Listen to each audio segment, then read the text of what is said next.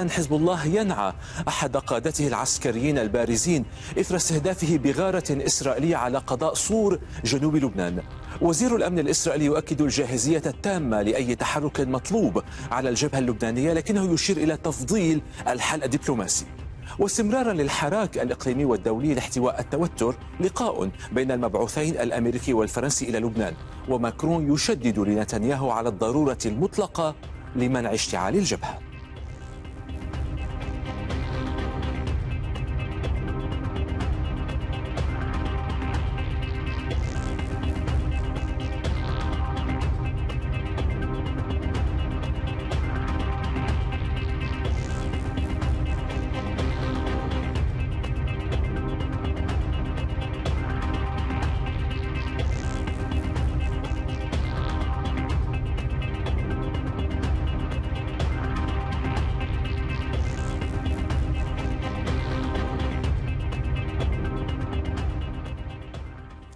إذا نعى حزب الله القائد في صفوفه محمد نعمة ناصر الحاج أبو نعمة من بلدة حداثة جنوبية لبنان.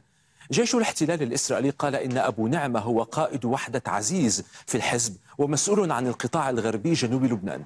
وقد قتل في غارة نفذتها مسيرة إسرائيلية استهدفت مدينة صور. بهذه العملية يصبح أبو نعمة ثانية أكبر قيادي لدى حزب الله تغتاله إسرائيل منذ اندلاع المواجهات بين الطرفين في الثامن من أكتوبر. بعد اغتيالها القيادي سامي طالب عبد الله أبو طالب في الحادي عشر من الشهر الماضي. هذه التطورات تأتي في غمرة ارتفاع حدة التصعيد بين الطرفين بلغ ذروته خلال شهري يونيو ومايو الماضيين بتوسيع حزب الله رقعة استهدافه المواقع الإسرائيلية واستخدامه تكتيكات وأسلحة جديدة أشد قوة مقابل توسيع إسرائيل لنطاق غاراتها وتكثيفها وتوسيعها كذلك لسياسة الاغتيالات. أعاد الجانب الإسرائيلي تأكيده الاستعداد لأي مواجهة وأشار على لسان وزير الأمن يؤاف جالنت إلى بلوغ حالة الجاهزية التامة لأي تحرك مطلوب على الجبهة رغم تفضيله. التوصل إلى اتفاق عبر التفاوض مثل ما قال. هذا الموضوع أيضا آه، ما زال متواصلا على الصعيد السياسي والدبلوماسي إذ ما انفكت أصوات دولية وإقليمية تعلو للمطالبة باحتواء التوتر ومنع مواجهة أوسع بين الحزب وإسرائيل قد تتطور إلى حرب إقليمية. آخر الجهود تمثلت بلقاء عقد بين المبعوثين الأمريكي والفرنسي الخاصين بلبنان. قبل اللقاء بساعات شدد الرئيس الفرنسي إيمانويل ماكرون خلال اتصاله برئيس الوزراء الإسرائيلي بنيامين نتنياهو على ما وصفه بالضرورة المطلقة لمنع اشتعال الوضع بين حزب الله وإسرائيل. نناقش في مساحتنا الحوارية هذه التطورات على الجبهة اللبنانية الإسرائيلية ونبحث مخاطر التصعيد المتواصل واحتمالات الانزلاق لمواجهة أوسع كما نبحث فرص نجاح الحلول السياسية والدبلوماسية وواقعية هذا الطرح في ظل استمرار العدوان على قطاع غزة. نبحث هذا الموضوع مع ضيوفنا من بيروت الباحث السياسي رضوان عقيل من حيفا دكتور مطانس شحادي الباحث في مركز مدى الكرمل ومن واشنطن لورنس كورب مساعد وزير الدفاع الأمريكي السابق والباحث في مركز التقدم الأمريكي. دكتور مطانس شحادة لابد أن إسرائيل تعرف أن اغتيالها لهذا القيادي البارز في حزب الله سيستدعي تصعيدا كبيرا من قبل حزب الله، لكنها مع ذلك أقدمت على الخطوة. كيف يشتغل العقل الأمني والسياسي هنا؟ مساء الخير أخ ولك وللضيوف الكرام وكافة المشاهدين يعني على عكس وبخلاف التصريحات الإسرائيلية التي تدعي خلال الأسبوع الأخير أن إسرائيل ترغب في التهدئة والتوصل إلى اتفاق دبلوماسي أو سياسي مع حزب الله في لبنان تقوم على أرض الواقع باتخاذ خطوات عدائية تجاه لبنان باتجاه التصعيد، يعني ما قامت به إسرائيل اليوم آه، هي تعرف تماما أنه سيؤدي إلى تصعيد جدي في الجبهة الشمالية خاصة أنه الاغتيال الثاني لقائد ميداني بارز في حزب الله وكان الرد السابق لحزب الله رد قوي. وأدى إلى توسيع آه، عمليا ضربات مدى الضربات حزب الله في شمال إسرائيل وحدة والأدوات المستعملة، الآن من المتوقع أن يكون حزب الله يعني برد فعل أقوى من الرد السابق لأن الرد السابق لم يردع إسرائيل بالاستمرار من اغتيالات. في إسرائيل هناك يعني وجهتان نظر، وجهة نسمعها من محللين بارزين وقيادات عسكرية سابقة وقسم منها حالية. تقول إن إسرائيل غير جاهزه وغير مستعده لتوسيع الجبهة في الشمال أو دخول حرب واسعة مع حزب الله لأن الثمن على الجبهة الداخلية وعلى الجيش الإسرائيلي سيكون مرتفع خاصة بعد استنزاف القدرات العسكرية تسعة أشهر في حرب الإبادة على غزة. ولكن بالمقابل الحكومة الإسرائيلية والقيادات العسكرية واليوم سمعنا وزير الأمن الإسرائيلي من الحدود الشمالية يوجه تهديدات إلى حزب الله. ويقول أن إسرائيل تريد الوصول نهر الليطاني بمعنى تريد إرجاع قوات حزب الله إلى ما بعد نهر الليطاني القوات والمعدات الثقيلة والمعدات العسكرية. وهذا أمر لا أعتقد أنه سيكون مقبول في أي حال من الأحوال على حزب الله. لذلك الأرجح أن إسرائيل تمارس سياسات علنية أو تصريحات علنية تقول أنها تريد تخفيف التصعيد ولكن على أرض الواقع تقوم بالتحضير وكل يوم نسمع عن تدريبات للجيش الإسرائيلي وفرق جديدة تتدرب على حرب في في مع حزب الله في لبنان. وتسحب قواتها من غزة وتوجهها إلى الشمال وتقوم باغتيالات وتصعيد الجبهة.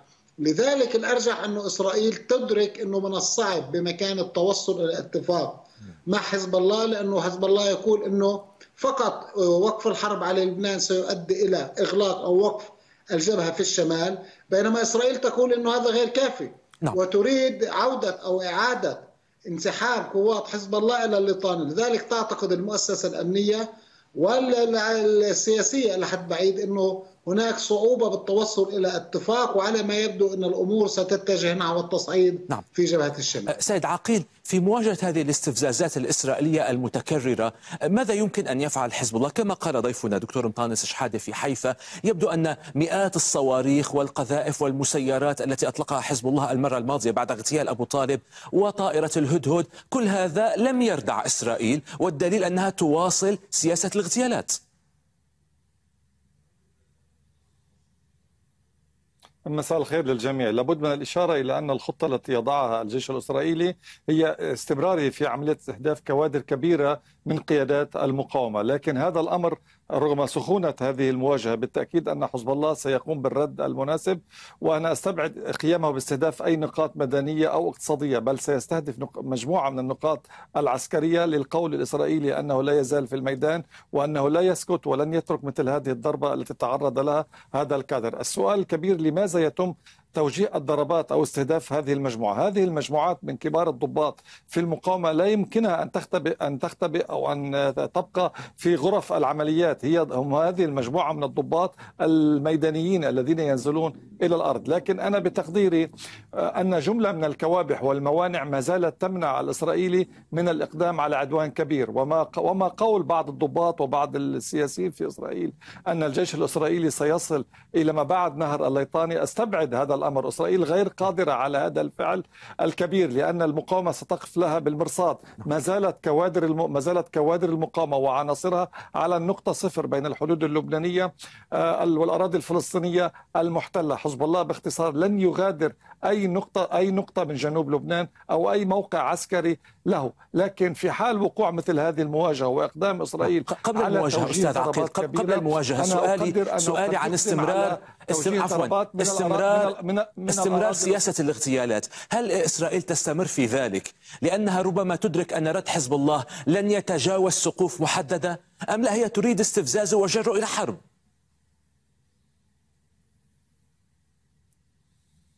حتى الآن لا يمكن لإسرائيل أن تقوم بجر حزب الله إلى هذه الحرب لكن في حال إذا أقدمت على هذا الفعل حزب الله بالمرصاد. الحزب هو في موقع الدفاع ولن يقف متفرجا في حال إقدام إسرائيل على تنفيذ عدوان كبير. الهدف من هذه الاغتيالات بحسب الرؤية الإسرائيلية أنها تستطيع تفكيك قدرات المقاومة وتوجيه رسالة إلى حزب الله أنه غير قادر على المواجهة الكبرى. لكن لكن من يعرف طبيعة حزب الله ويعرف مجموعة هذه المجموعة من الكوادر أن الكادر الذي يستشهد في المعركة يحل مكانه بعد دقائق ضابط ضابط آخر. أي بمعنى هذه السياسة صحيح هي صعبة على حزب الله لكن حزب الله في المقابل يقوم باستهداف أكثر من نقطة عسكرية ويستطيع أن يوجع الإسرائيلي. لكن لا أحد يقول أن الإسرائيلي أن الإسرائيلي سيتوقف عن القيام بمثل هذه الاستهداف واستهداف كوادر المقاومة إذا توفر له هذا الأمر. لكن رغم كل هذه السخونة العسكرية بين حزب الله وبين إسرائيل أرى أن العامل الدبلوماسي أقوى من العامل العسكري والعامل الحربي أي أي أي ما زالت الاتصالات والمفاوضات سأسألك عن هذا الموضوع بعد قليل سيد الأمر. سيد مشكلة عقيل ومشكلة بنيامين نتنياهو نعم سأسألك بعد قليل عن الجهود الدبلوماسية آه، على هذا الصعيد سيد لورنس كورب في واشنطن ربما نعم. آخر ما تريده إدارة الرئيس جو بايدن اندلاع حرب جديدة في المنطقة لكن الكرة تتدحرج وتكبر على ما يظهر ماذا بوسع إدارة بايدن أن تفعل هنا؟ بشكل مبدئي يمكننا القيام بما حاولنا القيام به مسبقا وهو إيقاف الأسلحة على سبيل المثال وإيقاف إرسال المعدات التي تستخدم في رفح ربما لقتل مئات أو آلاف المدنيين. الأمر الآخر الذي بوسعنا القيام به هو الوصول إلى وقف إطلاق النار في غزة. لأن حزب الله قال أنه إذا وصلنا إلى وقف إطلاق النار في غزة سوف يوقف الهجمات. ليس هناك الشك بأن القوات الإسرائيلية ترى أن حزب الله هو تهديد أكبر من حماس. ورئيس الوزراء نتنياهو لا يوافق مع هذا القول ويريد الاستمرار بهذه الهجمات وهذا هذه الحرب للسيطرة على غزة ولكن هذا ما لا تريده الولايات المتحدة الأمريكية. فأظن أنها نقطة حساسة جدا الآن ويمكن أن نرى أن هذه الحرب سوف تمتد من حماس إلى حرب حرب مع حزب الله والضرر سوف يكون أكبر بكثير مما قامت به حماس في السابع من أكتوبر لكن هل ستسمح إدارة بايدن لكي أن تتطور الأمور إلى هذا الحد اشتعال الحرب بين إسرائيل ولبنان هل إدارة بايدن تسمح بذلك أو ستسمح بذلك؟ لا لن تسمح بهذا الأمر. فلدينا المبعوث هوكشتاين الذي يذهب إلى المنطقة ويحاول بذل الجهود ونحن نحاول آه، العمل أيضا مع آه، آه، الأمم المتحدة للوصول إلى وقف إطلاق نار في غزة لأننا نعلم أن هناك تأثير لهذا الأمر على ما يحصل. في لبنان. ولدينا قلق من انتشار هذه الحرب إلى لبنان منذ أن بدأت. ولهذا انتقلنا أيضا نقلنا قواتنا أيضا آه، لإرسال رسالة إلى حزب الله أنه إذا كان لأي سبب ما بدأت الهجمات على إسرائيل أننا سوف نتدخل. ولكن الآن إسرائيل تقتل آه، آه، قادة من حزب الله كافة الوقت. فهي التي تسبب المشكلة. ونحن لدينا القدرة لإيقاف هذه الهجمات ومنحهم الأسلحة التي تستخدم في استمرار نعم. هذه الحربين. نعم. دكتور شحادة كان هناك تصريح لافت في الواقع ليؤاف جالنت وزير الأمن الإسرائيلي يقول إن الدبابة التي تخرج من رفح بإمكانها أن تصل إلى الليطاني. وهذا ربط واضح لا يقبل التأويل بين الجبهتين. وربما يذهب البعض للقول إن إسرائيل تعد العدة لإنهاء الحرب في غزة لكي تتفرغ للبنان. يعني هذا ما يقوله صراحة قيادات الجيش الإسرائيلي ورئيس الأركان ووزير الأمن وكافة الجنرالات الإسرائيلية. تقول أن الجيش الإسرائيلي لا يستطيع أن يتعامل بالتوازي مع حرب واسعة في غزة وفتح جبهة أوسع في الشمال. لذلك الجيش يدفع باتجاه إعلان انتهاء المعارك الكبيرة في غزة. والانتقال إلى المرحلة الثالثة للتفرغ لجبهة الشمال. وفعلا قام بنقل العديد من القوات الإسرائيلية من الجنوب إلى الشمال، إسرائيل حاليا في في مأزق وفي ورطة. هي من جهة تدرك إن حرب مع حزب الله ستكون يعني آه، آه، مكلفة جدا آه، لإسرائيل، مكلفة في الجبهة الداخلية وفي الخسائر البشرية وفي البنى التحتية وخسائر الجيش. وطبعا ستكون مكلفة ومدمرة للبنان أيضا. ولكن من جهة إسرائيل الحرب صعبة وعدم خوض الحرب هي معضلة إضافية يعني هي أصعب في جوانب أخرى. بمعنى أنه قدرة الردع الإسرائيلية في حال إسرائيل لم تقدم على التعامل العسكري مع حزب الله وفي حال لم تحقق تراجع حزب الله إلى الليطاني وفي حال لم يعود السكان أو المواطنين الإسرائيليين من الشمال إلى بلداتهم. هذا يعني تفتت قدرة الردع الإسرائيلية. وتفتت المكانة الاستراتيجية الأمنية لإسرائيل. لذلك هي بين نارين إما يعني مبادرة إلى حرب ونتائجها مخيفة بالنسبة لإسرائيل وإما عمليا عدم خوض حرب وأيضا سيكون لذلك نتائج وخيمة على مكانة إسرائيل. إسرائيل تتوقع أو تأمل أن يكون حل دبلوماسي. حل دبلوماسي بمعنى أن تفرض على حزب الله العودة إلى الليطاني أنا لا أرى إمكانية من هذا القبيل إلا إذا كان في إغراءات كبيرة لحزب الله طبعا بشرط انتهاء الحرب على غزة. كل نعم. هذا يتعلق نعم. بإن طبعا. يعني انتهاء حزب الله يصر على ذلك. غزة. نعم يجب انتهاء الحرب على غزة. نعم. ما ذكرت أخوائي نعم. مثل ما ذكرت نعم المؤسسة العسكرية جلانت يهدد تقريبا كل أسبوع. نعم. يهدد حزب الله. رئيس الأركان يهدد يوميا حزب الله. القيادات السياسية والعسكرية تؤجج. وبالمناسبة في الأيام الأخيرة كان في هدوء نسبي صحيح. في جبهة الشمال واليوم إسرائيل قامت بالاغتيال نعم. لتشعل هذه الجبهة من جديد نعم سيد عقيل آه، آه، موضوع الحل آه، الدبلوماسي. كان هناك لقاء اليوم بين المبعوث الأمريكي هوكشتاين والمبعوث الفرنسي أيضا وزير الخارجية السابق بخصوص صيغه ما للحل، حزب الله يقول بوضوح لا نهاية للحرب إلا بانتهاء حرب غزة، لا نهاية للتصعيد في الجنوب إلا بانتهاء حرب غزة، لكن ما شكل الحل الدبلوماسي الذي يقبله حزب الله برأيك طالما أن إسرائيل تصر على وجوب انسحاب قواته إلى ما وراء الليطان؟ نعم. قبل الرد على هذا السؤال وقول جالنت أن الدبابة التي وصلت إلى رفح وإلى غزة تستطيع أن تصل إلى ما بعد الليطاني. أنا أستبعد هذا الأمر من وجهة نظر عسكرية وجهة نظر طبيعة الميدان. هذه الدبابة لا تستطيع أن تصل إلى إلى ساحة بنت جبيل البلدة المحاذية للحدود اللبنانية الفلسطينية. وتجربة عام 2006 آه، تؤكد هذا الأمر عندما دخلت دبابات إسرائيلية الأراضي اللبنانية وتم تدميرها، لكن بالنسبة إلى الجهود الدبلوماسية التي يقوم بها هوكشتاين هذا أمر مرحب به من الجانب اللبناني، حتى حزب الله لا يعترض على هذا الأمر لأنه في نهاية المطاف ونهاية هذه العملية بالتأكيد ستحصل مفاوضات غير مباشرة بين لبنان وإسرائيل، ولا يستطيع غير المفاوض الأمريكي آه، إلا هوكشتاين القيام بمثل هذه المهمة وبجهد فرنسي، لكن مشكلة فرنسا اليوم تتخبط بأكثر مشكلة ولديها انتخاباتها، لكن هوكشتاين هو محل انتظار عند اللبنانيين، قبل ساعة تواصلت مع مسؤولين لبنانيين كبيرين في مجلس النواب وفي رئاسة آه، الحكومة،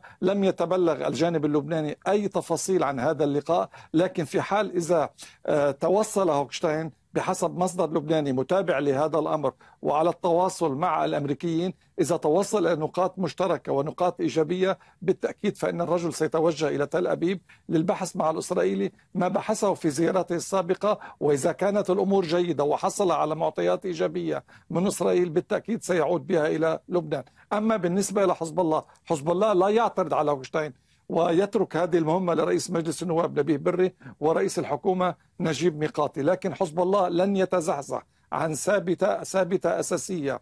ألزم به نفسه واستمر بها إلى النهاية قبل وقف إطلاق النار في غزة. وتمدد هذا الأمر إلى جبهة جنوب لبنان. بالتأكيد لن يعطي طيب فلنفترض أن هناك اتفاقا أستاذ عقيل فلنفترض أن هناك اتفاقا تم في غزة. ما هو شكل الاتفاق الذي يقبل به الحزب لجنوب لبنان؟ هل ينسحب مقاتله إلى ما وراء الليطاني؟ ومقابل ماذا؟ عند قبل قبل لحظات قال الدكتور شحادة ربما حزب الله يوافق على هذا الأمر.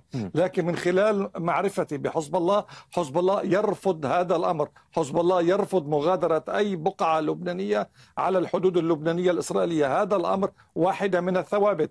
وعندما سئل عندما سأل هوكشتاين أحد المسؤولين اللبنانيين عن هذا الأمر على حزب الله أن ينسحب كان الرد اللبناني. لماذا نحن نطمئن المستوطن الإسرائيلي ولماذا نترك لإسرائيل هذا المجال؟ هل إسرائيل في المستقبل في حال توصلنا إلى مثل هذا الاتفاق ستقدم على عدم تسيير مسيراتها وطائراتها فوق السماء اللبنانية وخرق القرار 1701 هل ستقدم هذه هل ستتوقف هذه الطائرات عن استهداف أهداف عسكرية في سوريا؟ يعني ما يطلبه الأمريكي من الجانب اللبناني بغية طمنة الإسرائيلي في المقابل أن لبنان يطالب بهذا الأمر أنه كما تريدون إعادة المستوطن الإسرائيلي إلى شمال إسرائيل وليعيش في هدوء وراحة لماذا لا يعود هذا المواطن الجنوبي في كل هذه العملية بالتأكيد هناك عملية متكافئة بين حزب الله وإسرائيل نعم. أنا أقول في أحسن الحالات من الأفضل للطرفين أن يعودا إلى ما قبل 1701 إلى ما قبل 7 تشرين والتأكيد على مندرجات 17 نعم.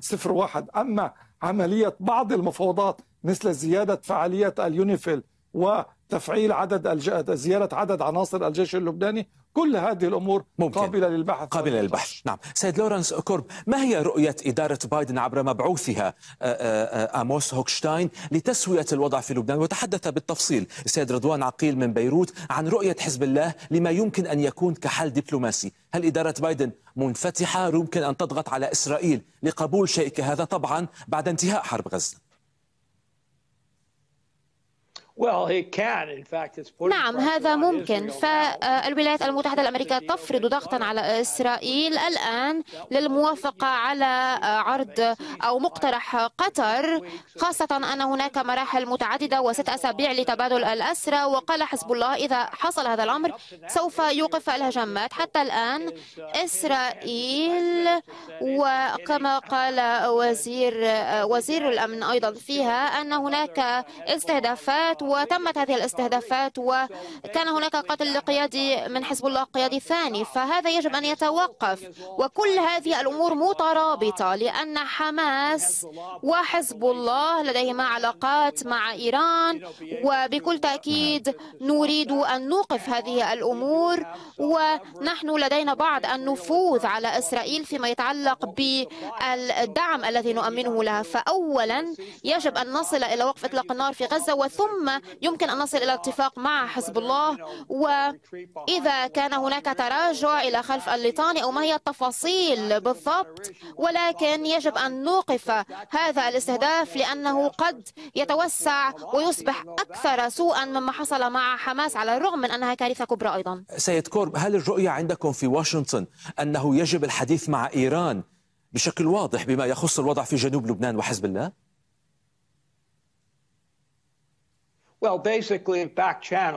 مبدئيا نحن لن نقول هذا بشكل علني. عندما كنت في الحكومة كان هناك أمور تحصل خلف الكواليس ولكن لا أظن أن إيران تريد توسعا لهذا النزاع أيضا أو الانتقال إلى مرحلة جديدة. الآن لديهم الانتخابات وهناك أمور أخرى ويركزون عليها. هناك تركيز أيضا مع حزب الله أكثر من حماس والحوثيين. لذلك أتوقع أن هذه الأمور تحصل حاليا لمحاولة حل هاتين المسألتين. كما قال الضيفين الكريمين لا يمكن حل مسألة من دون الأخرى. يجب حل المسألة مع حماس وأيضا الوصول إلى اتفاق مع حزب الله وحزب الله قال إذا وصلنا إلى اتفاق مع حماس سوف توقف الهجمات أيضا وإذا توقفت هذه الهجمات إسرائيل لن ترد. بالتالي فأظن أنه من المهم أن نتذكر كما ذكرت أن قوات الإسرائيلية قلقة أكثر بشأن لبنان مما هي قلقة بشأن حماس. مع الأسف رئيس الوزراء نتنياهو يركز على حماس أكثر. دكتور امطان سحادة حملت الأخبار العاجلة قبل قليل أن بلديات في شمال حيفا فتحت الملاجئ. حدثنا عن موقف الرأي العام الإسرائيلي. ألم يتعب من هذه الحروب المتتالية أم بالعكس يضغط على حكومته لبين قوسين معاقبة حزب الله؟ ولك قبل ذلك دعني أوضح أنا لم أقل أن حزب الله سيقبل بإعادة قواته باتفاق دبلوماسي. أنا أقول ذلك إلا إذا حصل شيء غير متوقع كبير. يعني أنا أستبعد ذلك فقط للتوضيح للضيوف الكرام. الآن يعني إسرائيل في في ورطة مثل ما ذكرنا المجتمع الإسرائيلي والرأي العام الإسرائيلي حسب الاستطلاعات الراي العام الاخيره كافة. هناك تأييد لشن حرب على لبنان هناك تأييد لشن حرب على حزب الله. قرابة 40% كان في الاستطلاعات الأخيرة تؤيد شن حرب فورا يعني دون انتظار انتهاء الحرب الإبادة على غزة. وبالإضافة إلى ذلك هناك 30% إضافيين يقولون إنه نعم نريد حرب ولكن بعد الانتهاء على غزة، بذلك هناك 60 أو 70% من المجتمع الإسرائيلي يدعم الحرب آه، على حزب الله. هذا لأنه الذهنية الإسرائيلية عزيزة، خلينا نرتب بعض الأمور. إسرائيل تقول إنها لن توقف الحرب على غزة إلا إذا تحققت الأهداف ولا يمكن قبول أي وقف إطلاق نار يؤدي إلى وقف الحرب، بينما حماس يقول إنه شرطها هو وقف الحرب على غزة، لذلك نستبعد التوصل إلى اتفاق لإنهاء الحرب في غزة. حزب الله يربط بين الجبهة الشمال والجنوب ما يحدث من حرب إبادة على غزة. بالمقابل إسرائيل تريد أن تغير مكانتها الأمنية والاستراتيجية وإعادة قدرة الردع وإعادة السكان إلى الشمال وإعادة الثقة بالمؤسسة الأمنية والعسكرية. وأي عد أي تراجع إضافي أمام حزب الله أيضا سيؤدي إلى تفكيك الحكومة الإسرائيلية نعم. يعني التناقضات موجودة في جميع الساحات نعم. نعم التناقض في الساحة العسكرية والساحة السياسية لذلك أنا لا أرى أنه بإمكان إسرائيل إنهاء ملف الشمال دون عملية عسكرية يعني محدودة بغض النظر عن حجمها. نعم واضح تماما دكتور. إسرائيل. نعم بقي لدي فقط سؤال أخير. أستاذ رضوان عقيل ماذا عن حسابات حزب الله الداخلية اللبنانية؟ الوضع صعب كما تعرف في لبنان وضع اقتصادي صعب فراغ رئاسي إلى آخره. كم هذا الموضوع مهم في قرار حزب الله بالتصعيد أو عدمه؟ باختصار لو سمحت. بالت... بالتأكيد هناك انقسام لبناني ثمة من لا ثمة من يؤيد حزب الله وهناك جهات عده لا تؤيد هذا الأمر، لكن في حال وقوع مثل هذا العدوان الإسرائيلي بالتأكيد أن الأمريكيين لن يتركوا إسرائيل وسيمدونها بالسلاح والاعتداء ولا سيما أن نتنياهو يستغل وضع الديمقراطيين الحزب الديمقراطي والرئيس بايدن في الانتخابات الأمريكية، لكن حزب الله يقول أنا في موقع الدفاع في حال حصول حصول مثل هذا الهجوم أنا بالتأكيد سأواجه كما واجه في سنوات سابقة وتحديدا في عدوان تموز 2006 لكن لكن حزب الله سيبقى على هذا المنوال يهدد ويقول أنا أدافع عن لبنان وعن أرض لبنان ولن أتفرج على أي عدوان إسرائيلي يستهدف أي بقعة لبنانية في الجنوب وغير الجنوب. شكرا لكل الضيوف. رضوان عقيل الباحث السياسي في بيروت دكتور مطانس شحادة الباحث في مركز مدى الكرمل بحيفا ومن واشنطن لورنس كورب مساعد وزير الدفاع الأمريكي السابق والباحث في مركز التقدم الأمريكي.